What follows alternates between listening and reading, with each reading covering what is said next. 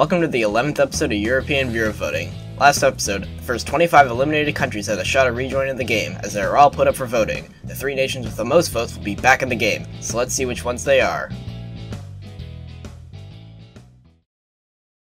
737 voters cast 4,530 votes.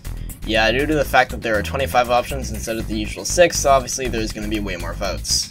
Anyway, let's get started. There were only two nations that got less than 100 votes, those being Belarus with 82 votes and Moldova with 98 votes. Furthermore, the nations that got less than 150 votes were Bosnia and Herzegovina with 118 votes, North Macedonia with 130 votes, Serbia with 133 votes, Slovenia with 138 votes, Latvia with 139 votes, and Azerbaijan with 140 votes. Andorra also won't make it with 151 votes, as won Georgia with 158 votes, and Russia with 162 votes. Lithuania and Romania won't make it with 165 and 171 votes respectively, and with that, we're halfway done. The final three nations that got less than 200 votes were Bulgaria with 174 votes, Albania with 182 votes, and Monaco with 188 votes. Now there are only 9 countries left.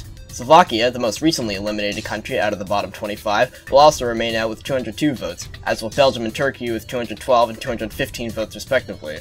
Honestly, this is getting kind of repetitive, so I'll just speed things up. Kosovo is out with 216 votes, and Spain is out with 248 votes. With that, we've reached the final four. One of these countries won't make it back to the game, while the other three will get a second chance. And the nation not making it is Croatia with 253 votes. That means France with 274 votes, Greece with 284 votes, and the United Kingdom with 297 votes are back in the game. Boom! Here they are. Now it's back to business as usual. The nations up for voting this episode will be Switzerland for the billionth time now, Germany, Czechia, Luxembourg, Malta, and Kazakhstan. So we have some repeats, but also a lot of new contenders. Vote and link the description for which countries you want to stay in the game, and as always, you can vote for as many countries as you want. Voting ends on Thursday, February 9th at 6pm Eastern Time. Thanks for watching.